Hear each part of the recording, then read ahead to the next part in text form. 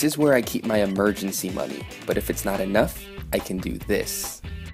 See the dollar bill, even though it's behind the walls of the clear case, if I just cover it for one second, you'll see that $1 bill change to a $5 bill. Squeeze that $5 bill. Even more money if I wanted snap my fingers, open your hands, I won't touch. Oh. And wait, crack open the phone case, open it up. And make sure there's nothing else in there that's a real 20, but you can unfold to do anything you want. All I have to do is snap over the five, open your hand. It went from a one to a five to a twenty. That's awesome. That's awesome.